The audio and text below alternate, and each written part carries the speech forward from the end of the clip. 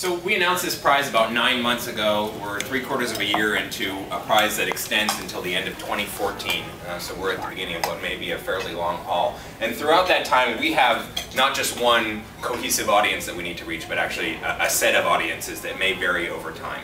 In the early years, a lot of our effort here at X Prize will be focused on making sure that we have all the teams that we need to really make this uh, an exciting, robust competition that has inter an international flavor to it, and most importantly, has teams that are actually capable of winning. Uh, that's hugely important to us. We've been doing a good job with that, I think, already, and I'll talk to you more about the teams that we have, but that's going to continue to be a major focus of ours until registration closes, which still doesn't happen for another couple of years.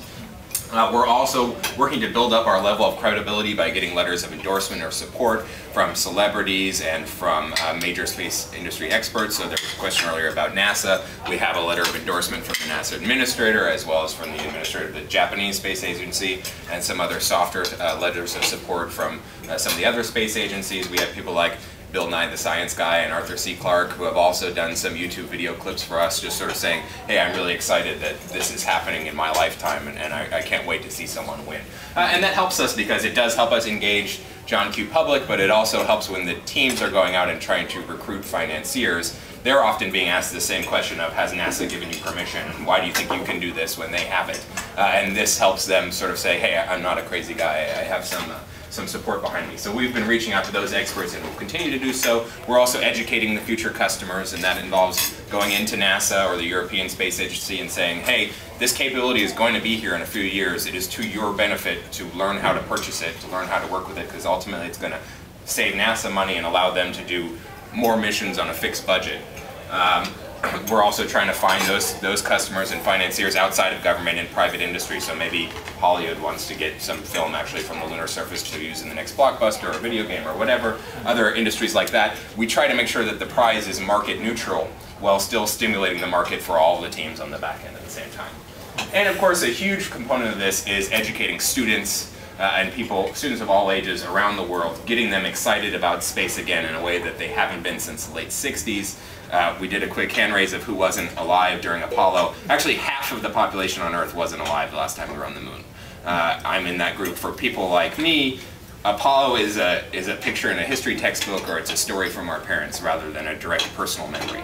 Uh, and we want to very much change that and take advantage of all the great technologies that Google and other companies are doing to push that out and allow people to watch these things happening in basically real time and high def and really feel like they are there and they are a part of this.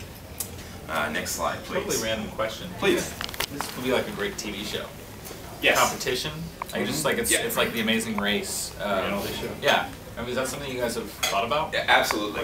As, as you said, this is uh, there's there's great TV both from the footage of the landing itself to the sort of human story about how did I form a team and how is my team better than that team and you know when the guy has to mortgage his house to fund the team and the spouse doesn't like it and all those kind of things. So we're very much looking into how to best do those in ways that are uh, appealing and exciting that build positively on our brand and on Google's brand and also are fair to all the teams. We don't want to bias more than we have to towards the English-speaking teams or towards the American teams, et cetera, et cetera. But it's something we very much have an eye to.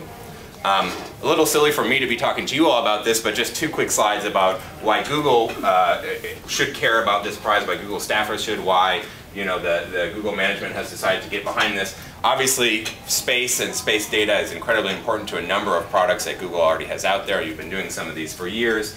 Google Earth, which is built off of uh, uh, radar topography uh, mapping information that was taken from the NASA Space Shuttle and then follow on commercial satellite imagery. You've launched Sky recently and just has these stunningly beautiful pictures, which hopefully is driving a lot of traffic to your website, getting a lot of downloads to you, but also just stimulating people to get excited about math and science and all the cool things that are part of your don't be evil mantra.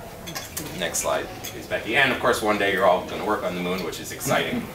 um, but I think that there is, there is a mutual belief among Google and the X Prize Foundation that a number of great things, not just a technology, but a number of great things are going to come out of this prize. The technology is enormously important and will not just be applied to space. It'll be spun out and applied to the medical industries and other industries as spaceflight technologies always have since the early days of NASA.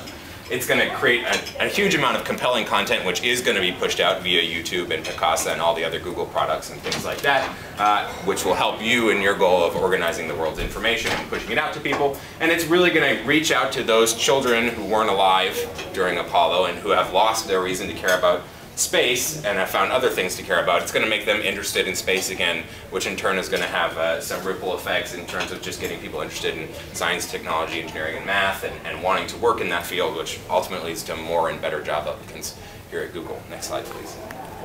So this is a, a fairly audacious goal, right? A private company putting something on the moon, which nobody has done since 1976, which the United States and the Soviet Union are the only two people to have ever done in the history of the world. Why do we think that some ragtag group of guys and gals from some country, who knows where, is going to be able to do this? Uh, well, we actually have some pretty good historical analogs about why we think this might happen. Next slide, please. Uh, prizes have a, a, long and a really impressive history. Uh, some of them you may be familiar with even though you didn't know they were prizes. Uh, so probably all of you know the name Charles Lindbergh and could tell me if I asked that Charles Lindbergh was the first person to make a transatlantic flight. But you may not have known that he did that to win a prize. Uh, this little shorter guy here named Raymond Orteig was a wealthy gentleman. He owned a bunch of hotels. Uh, he liked airplanes. He thought they were cool. He thought they maybe were important for business. So one day he wrote in a letter to the editor of a, of a trade magazine at the time and just said, hey, I'm offering this prize. It's $25,000 for the first person to fly without stopping from New York to Paris or Paris to New York. And that's it. Uh, and that was that prize was not all that much money, even in current money, but it was enough money to get people interested. And so what happened was all the leading aviation experts of the time, who primarily lived in the U.S. or France, which is why it was New York to Paris, uh, got excited about this, and it really lit a fire under them, and it gave them all a common goal to work on. So instead of just being barnstormers who would fly people around in loops until they threw up, which is what most pilots did for money in those days, uh, they had a, a real technological goal that had importance as defined by someone. So you see all these people, some of these names, Admiral Byrd may be familiar to you from his polar explorations and things like that. Uh, and this guy Charles Lindbergh, who at the time was a nobody, he was a, a junior mail route pilot out of St. Louis. No one in the industry had ever heard of him. No one in the industry had any reason to have heard of him.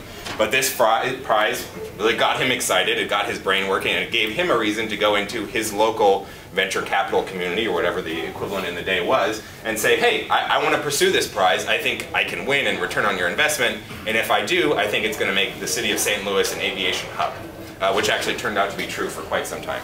Next time, slide, please. Uh, he wrote a book about this called Spirit of St. Louis, which is actually a great book I recommend. But if you read through that and through other historical accounts, you realize that for this prize, you had nine teams from around the world competing. They spent 16 times the prize value trying to win. So that, that right there is a, is a great leveraging factor that says if you want a problem solved, rather than just giving your dollars to one person or one entity to do research on it and getting a one-to-one -one return, you can put out a prize and start getting these 10 to 1 returns or 16-to-one returns like we see.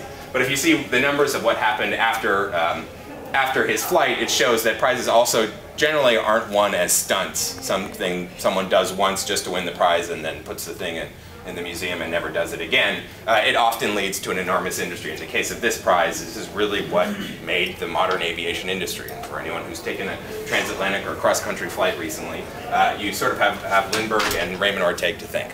Next slide, please. Uh, that was not the only prize going back several hundred years, the Longitude Act. Uh, this is what created the British Armada and really wrote Western history uh, as, as it is today. Uh, prior to that prize being offered, no sailor had the ability, they could tell their latitude based on the movement of the stars, but no sailor had the ability to tell their longitude.